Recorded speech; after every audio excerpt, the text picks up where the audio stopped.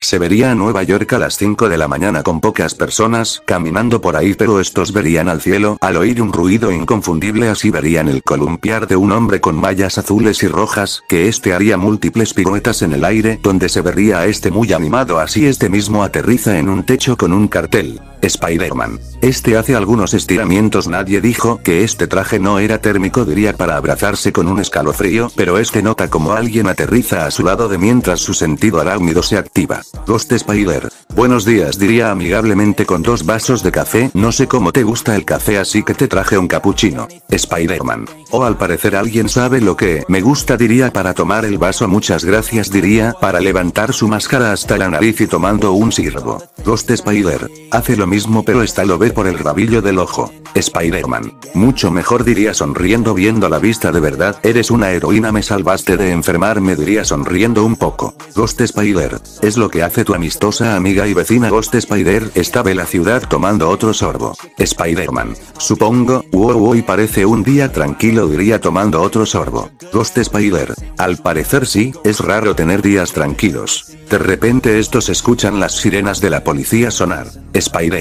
Ups, olvide que no debes decir eso en voz alta diría para acomodarse su máscara y dejando su café con una telaraña supervillano o solo un ladrón. Pregunta levantándose. Ghost Spider. Lo que sea debemos ir a ayudar diría colocándose su máscara. Spider-Man. Una carrera este se deja caer de espaldas así es de lanza una telaraña empezando a columpiarse siguiendo a la policía. Ghost Spider. Está libera un suspiro y se empieza a columpiarse. Se vería un edificio de siete pisos en llamas bastante inquietas con dos camiones de bomberos y cinco patrullas rodeándolo. Capiran este Iki. Por el radio oficial necesitamos más refuerzos, repito más refuerzos son necesarios este nota como alguien aterriza en su patrulla Spider-Man. Pregunta algo sorprendido al verlo. Spider-Man. No hay tiempo para saludos, ¿cómo ayudo? Pregunta algo serio. Capitán Streaky. Creemos que hay dos infantes en el séptimo piso y un hombre en el segundo pero el edificio no soportará mucho tiempo. Spider-Man. Entendido este lanza dos redes por los costados del edificio para después impulsarse y con gran precisión entra en una ventana del séptimo piso. Hola. Este empieza a revisar sus alrededores y nota un closet bastante grande así este lo abre y se verían a dos pequeños asustados al verlo y le lanza múltiples cosas. Oigan pequeños tranquilos soy de los buenos diría, pero los niños aún se les notaba el miedo. Este, se quita la máscara tranquilo soy de los buenos diría, sonriendo un al ver cómo los niños empezaban a dejar de asustarse. Muy bien, ahora debemos salir de aquí. Este con cuidado los abraza. Muy bien ahora sujétense bien. Este empieza a caminar lento ya que su sentido arácnido no deja de alertarle y usando eso a su favor este empieza a caminar por las secciones donde su sentido arácnido no le alertaba así este llega a la ventana, ya vamos a salir de aquí este a punto de salir a este se le activa su sentido arácnido donde lanza a los niños y el piso a sus pies se derrumba así este se logra sujetar de una madera y nota que esta no soportaría mucho y trata de usar una red pero su disparador se trabó o vamos este con una mirada sería trata de sostenerse con la otra este cae atravesando varios pisos llegando al primer piso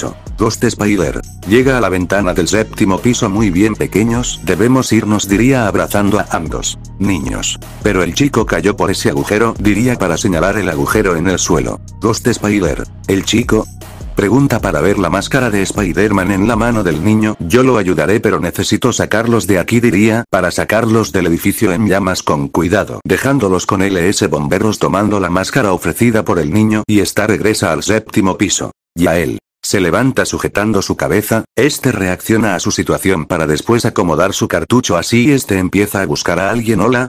Este trata de ver pero el humo era bastante oscuro para ver algo pero logra ver una persona inconsciente y este se acerca tomándole el pulso liberando un suspiro de alivio ya no tardo en sacarlo de aquí este siente su sentido arácnido muy fuerte. Ghost Spider. ¿Está aterriza Spider-Man? Pregunta tratando de encontrarlo y logra ver una silueta entre el humo acercándose rápidamente. Y a él. No, no te acerques grita tratando de impedir que se acerque, pero al ver que no lo escucho este la empuja algo fuerte y este logra sostener el una gran parte del techo impidiendo que el hombre sea aplastado. Ghost Spider. Ay no, ay no está se acerca al chico solo logrando ver una cabellera roja corta. Y a él. Sácalo de aquí, rápido. Ghost Spider. Estaba la máscara de Spider-Man en su mano ya que tenía la oportunidad de ver quién está debajo de la máscara, pero esta corre hacia el hombre inconsciente y lo carga saliendo del lugar llevándolo a una ambulancia. Capitán Streaky y Spider-Man.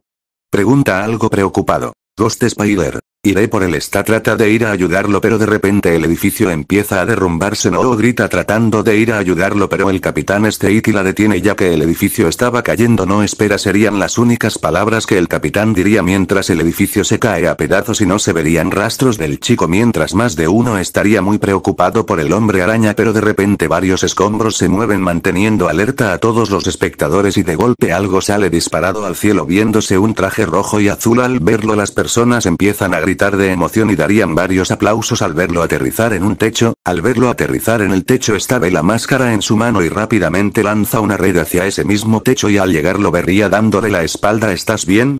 Ya él. Este se sorprende al oírla y rápidamente con una red toma una bolsa de papel poniéndosela así y este se voltea claro, no es mi primera vez soportando mucho peso diría rascándose la nuca. Ghost Spider. Muy bien niño fuerte esta le lanza su máscara y se da la vuelta tranquilo no voy a voltear así que tu identidad seguirá siendo secreta. Ya él. Este se sorprende y sonríe qué vergüenza, si me vieras sin mi máscara y sin darme una peinada antes diría poniéndose la máscara. Ghost Spider. Esta ríe un poco tranquilo, no por eso no me vas a agradar. Spider-Man. ¿Con qué te agrado? Vaya y yo que pensaba que lo nuestro era especial diría, poniéndose a un costado de ella. Ghost Spider. No te confundas, aún me debes muchas respuestas sobre ti. Spider-Man. Te diré todo lo que quieras cuando me invites a cenar, no soy exigente así que un sándwich de crema de maní y jalea estaría perfecto diría quitándose algo de ceniza del traje. Ghost Spider. Lo tendré en mente cuando nos volvamos a ver. Spider-Man. Muy bien, ahora que ya tengo un desayuno asegurado me retiro, debo ir a reparar esto señala su traje esto no venía en el contrato para ser un héroe. Ghost Spider. Espera levántate la máscara un poco diría acercándose a él. Spider-Man. ¿Eh? Este se la levanta hasta la nariz así. Ghost Spider. Perfecto esta se levanta la máscara hasta la nariz y tomándolo por sorpresa esta le da un beso en la mejilla por hacer un buen trabajo. Spider-Man. Este parpadea algunas veces para después caer de espaldas en el borde del techo. Ghost Spider. Está algo preocupada se azoma pero de repente este sale disparado liberando un grito de emoción bastante potente y se empieza a alejar columpiándose haciendo diferentes acrobacias en el aire y al verlo así de feliz está no podría evitar sonreír debajo de la máscara. Más tarde en el departamento de Gwen y las demás chicas. Gwen. Leyendo un libro de historia comiendo un poco de papas fritas. Betty. Viendo la televisión algo aburrida, estas apartan la mirada de los que estaban haciendo y verían humo levantándose y a punto de ir a la cocina. Mary Jane. Tosiendo un poco ok creo que iremos a comer afuera diría lanzando un trapo y liberando un suspiro. Gwen. Bien creo que el señor Bernard sigue abierto diría para tomar su chaqueta. Mary Jane. Excelente, hoy los sándwiches van por mi cuenta diría sonriendo y tomando su suéter. Betty. Eso fue rápido diría tomando su suéter y junto a las otras dos se irían del apartamento así se vería a estas caminando por la calle, platicando como grandes amigas así llegarían a una cafetería y restaurante. Mary Jane. Y yo le dije, eso no es un bajo, es un baño diría así junto a sus amigas, empiezan a reír así un chico con lentes se acerca anotando algo en una libreta. Ya él. Buenas tardes, por favor sígame y les daré una me, este al levantar la mirada se sorprende bastante dejando caer la libreta me, me, sin poder hablar correctamente. Wen. Esta recoge la libreta y se estira al pelirrojo aquí tienes. Ya él. Este agita su cabeza muchas gracias este la toma pero sin querer se dan un roce de manos poniendo nerviosos a ambos bajo la vista de las amigas de la rubia por aquí por favor diría acomodándose los lentes y las lleva a su mesa. Wen. Esta la sigue jugando con un mechón de cabello. Mary Jane y Betty estaban sonriendo al ver la actitud nerviosa de ambos y al parecer estaban planeando algo. Ya él. ¿Este les muestra la mesa que les traigo chicas? Pregunta ya un poco más relajado. Wen. Viendo el menú un sándwich de pollo para mí. Mary Jane. Oye esta lee el mini gafete del chico Yael ¿verdad? Yael. Así es, ese es mi nombre diría sonriendo Mary Jane. ¿Eres soltero? Pregunta algo curiosa. Yael. ¿Eh? Bueno, yo, libera un suspiro acabo de terminar una relación no de la mejor manera posible. Betty. Eso se oye horrible. Yael. Lo fue al inicio pero he estado supernado lo este sonríe un poco y bien solo sería el sándwich de pollo o alguna anécdota más.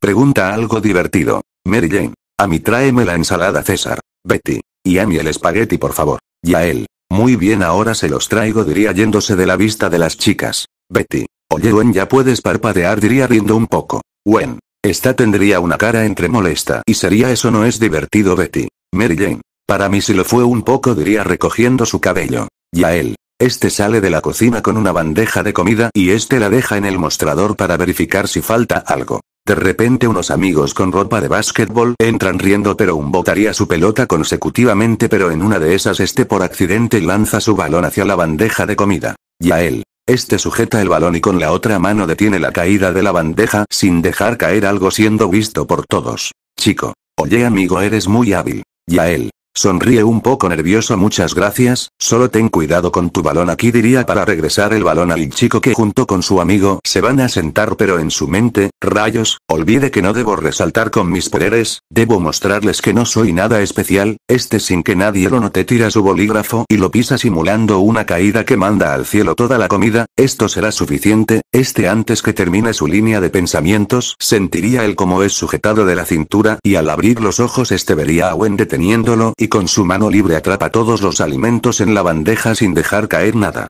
Mary Jane. Wow Wen, pero qué reflejos. Wen. Esta ríe un poco nerviosa. Ya él. Este tendría un leve rubor muchas gracias. Wen. Le sonríe no hay de qué. Fin del capítulo.